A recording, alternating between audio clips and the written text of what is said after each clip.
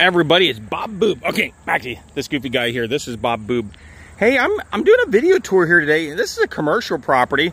You can see here, here's the building here. It's 265 High Street. But what I'm actually looking at here, this is Thomas Street right here. So really your, what would that be, your west boundary line is 260, or we're at 265 High Street. Yeah, I know where I'm at. Um, but uh, this western boundary line is Thomas Street. So right over here is the Thomas Street exit. Okay, that, that little bug there with the muffler, that's my mother leaving town. Bye, Mom.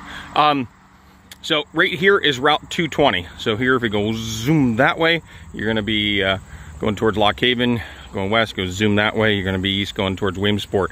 So really good location to a very busy exit right here then. Of course, you come in Thomas Street, and then some of you may be familiar um, Right down below us is the bank. Uh, down here is an insurance company. Uh, across the street is the Weis's grocery store. But this is a pretty, pretty high traffic count area. But what we have here then is a large commercial building here. Again, the, the GPS address is 265 High Street. I'll show you some of the outside here uh, before we go inside. Back over here, there's another parking spot hidden over here. But this here, you get to see the outdoor unit. It's a um, what they call it, heat pump slash central air. That's a Gibson unit right there. Of course, you have another door right there. Then here you have big parking area. Boy, guys, I guess depending how you would park in here, I would say that you could get eight to 10 cars easily, maybe more. I'm not sure exactly where the boundary line is here. I feel like here you could actually get some cars pushed over this way as well. And uh, Guess it depends too. You driving some beast of a truck or a small little super cool red Jeep like me. You can get more of those in the parking lot. So let me think here. I guess that's on the outside there. So between Lock Haven, between Williamsport, definitely a good spot for a, a business location. So as we walk in, you see here's the entranceway. Uh, the building was built on a crawl space. There's no basement. Um, it's block foundation, vented very well. And remember earlier showing you that side door, but just a big, huge open, like bullpen sort of an area where you could set lots of desks or chairs. Again, trying to think out of the box a little bit, not knowing what business might want to be in here, but you've got lots of space. Then you have one, two, three office areas. You can see it's kind of, I guess, the reception area, or you could shut that and have it as a private office. Another private office here. And then this can be an office or just used as a kitchenette. This is a larger room here, as you can see. Lots of cabinets here, little sink area. So that's nice size. And again here, just trying to give you a different look here. Of course here, this is the southern view, so uh, east to west here, you get lots of sunshine coming in here.